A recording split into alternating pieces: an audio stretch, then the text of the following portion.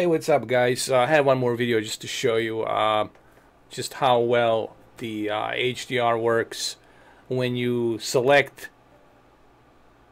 HDR paper white all the way to high. I already spoke about this on my previous video on how to do this.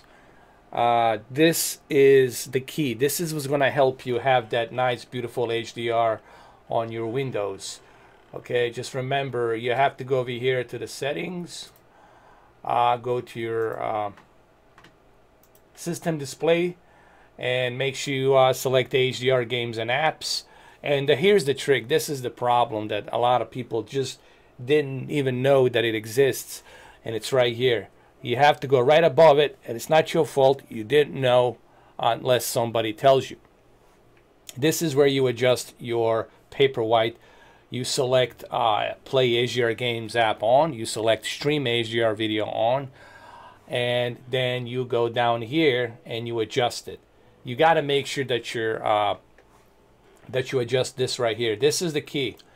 See, when you when you select it on when you turn this on for the very first time, it goes up to 30 and it stays at a very, very uh, dimmed quality and you're wondering what's going on. Why is my picture so dimmed?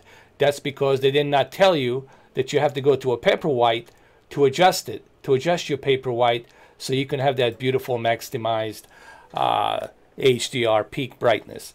Okay?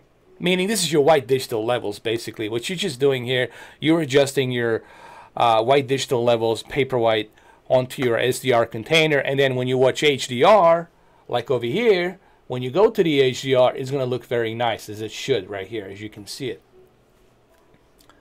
So that's pretty much how that works. And believe me, uh, you, you're going to notice that difference right away. Uh, you're going to see it right away. You're going to notice that difference immediately, okay?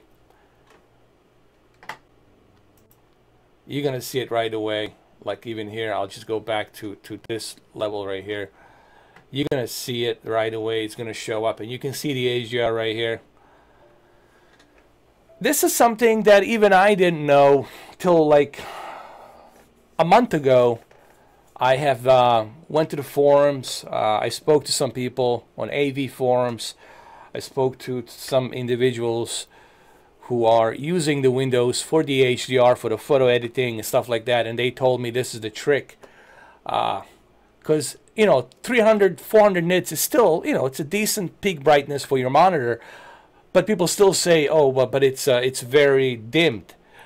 So now you know why your Windows was always dimmed on the HDR. Okay. Also, you got to keep in mind your TV has to support. I mean, your monitor has to support HDR. HDR. Your device has to support HDR in order for you to truly utilize it. Okay and as you can see it looks beautiful. Uh, so uh, there you have it. So any any content that supports HDR even this one if we click on this one this one doesn't support HDR so this one this one's fake. Uh, let's go to the videos that do support HDR let's go to the ones that do support HDR uh, this one says it's HDR so let's see. Yeah see this one is the HDR uh, it tells you HDR right away, and you can see that it's an HDR. Be careful when you go out there when you are searching for HDR content. Some of them are not real HDR. Some of them are real HDR.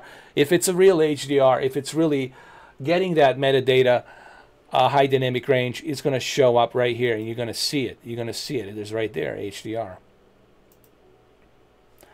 All right, so well, there you have it. Just a short little video. I already covered this. I already spoke about this but I felt maybe I should have kind of like just show you how good it looks, the difference. You can see the difference right here. Clearly, you can see just how bright it is, how beautiful it looks. Uh, because a lot of people have been complaining to me about this. They're saying, but man, I want to enjoy HDR my PC, but it just looks like crap. It's too dimmed. That's because Microsoft failed to tell you that you have to adjust your paper white. And this is your fault, Microsoft. You should have explained this, but they didn't. Okay? At least I haven't found it anywhere on their forums. They just say click HDR on. turn it on, but they didn't say, oh, how do you adjust it and what, what to do. Okay. Now, you do have to download the Windows Assistant, but why do you have to pressure people to download the Windows Assistant so that way they can find out how to do this? This it's something that should have been explained clearly from the get-go that you need to do this. Instead, we had to find out ourselves how to do this. Anyway, there you have it, guys. Thank you. Just a short little video just to show you, and uh, I'll catch you guys later. Uh, I'm kind of excited about the uh, Modern Warfare. I do want to bring Modern Warfare to you in 4K HDR. I'm not going to do a live stream. I'm just going to bring you guys 4K HDR video footage from a campaign in different parts, and then you guys can enjoy it in 4K and HDR with a good surround sound and have fun with the uh, real-time ray tracing and HDR. You guys are gonna simply have your jaws drop just how beautiful it's gonna look on the campaign. So I'll do that for you guys on Friday. You'll have those videos rolling out on Friday, okay? Thank you for watching.